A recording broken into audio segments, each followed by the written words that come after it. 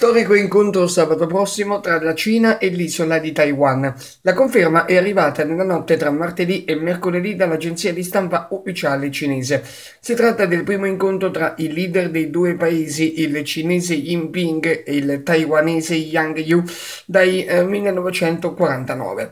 Tra l'altro, il portavoce presidenziale di Taipei ha fatto sapere in un comunicato che si incontreranno per uno scambio di idee sulle relazioni tra i due paesi. La notizia ha suscitato forte dissenso negli ambienti politici di Taiwan e il maggiore partito del paese ha chiesto al presidente di motivare la sua decisione.